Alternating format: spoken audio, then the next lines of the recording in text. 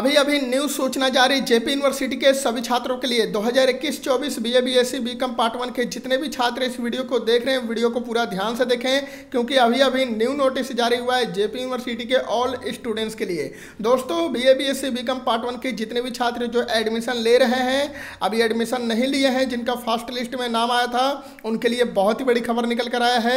साथ ही साथ second merit list कब जारी होगा और सेकेंड मेरिट लिस्ट में किन किन छात्रों का नाम आएगा एडमिशन कब होगा सेकेंड मेरिट लिस्ट वालों का सारी जानकारी इस वीडियो में दी गई है। वीडियो को पूरा ध्यान से देखें, ठीक है? तो वीडियो को फटाफट लाइक नहीं किया यार तो लाइक कर दो और चैनल पर न्यूजर हो तो सब्सक्राइब भी कर लो। नीचे लाल कलर का सब्सक्राइब का ऑप्शन दिख रहा होगा क्लिक कर दो।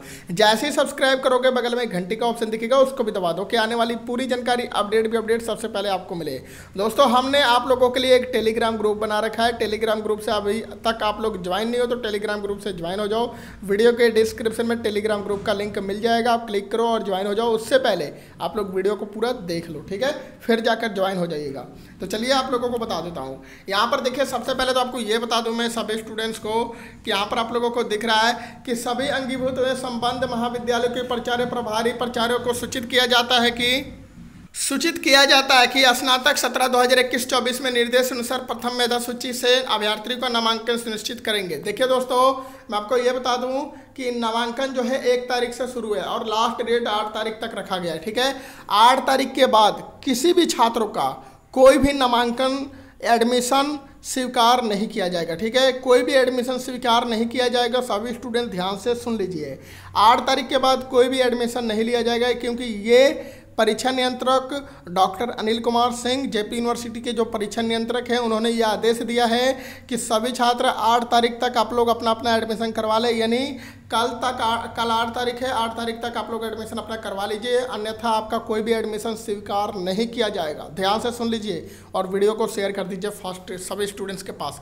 यहाँ पर देखिए बता रहा है कि अभ्यर्थी अपना नामांकन निर्धारित तिथि के अंदर अगर नहीं लेने, नहीं लेंगे तो उनके नामांकन की दावेदारी अस्वीकार कर दी जाएगी। यानी कोई भी नामांकन एडमिशन नहीं लिया जाएगा, स्वीकार नहीं किया जाएगा। ठीक है? राज्य सरकार द्वारा निर्धारित सीट पूर्व में हस्तगत करा दिया गया है। किसी किसी भी हालत में अधिक नामांकन नहीं लेंगे, ठीक है? जितना सीट है, उतना ही नामांकन लिया जाएगा। और नामांकन में राज्य सरकार की आरक्षण नीति पत्र पूर्व में हस्तगत करा दिया गया है कि शत प्रतिशत अनुपालन सुनिश्चित करेंगे। नामांकन में शुल्क संरचना जो पूर्व में भेजा गया है, वही लगेगा, ठीक है? देखिए, नामांकन के लिए जितने भी जो सेकेंड मेरिट लिस्ट में जिनका नाम आएगा, वो जान लीजिए क्या क्या डॉक्यूमेंट लगेगा, ठीक है? नामांकन के लिए इंटरमीडिएट का अंक पत्र और प्रवेश पत्र, साथ ही साथ आपका विद्यालय प्रत्याग प्रमाण पत्र और जाति प्रमाण पत्र, ठीक है? और आपके पास ध्यान रखें कि यदि यदि जो स्टूडेंट्स महिला मान लीजिए विकलांग है तो विकलांग प्रमाण पत्र लगेगा, ठीक है? और आप लोगों का बस यही सब लगेगा। फिर से अगर आपके पास प्रोविजनल प्रमाण पत्र है तो वो भी ले लीजिएगा, वो भी लगेगा, ठीक? चलिए, ये तो मैंने आपको बता दिया।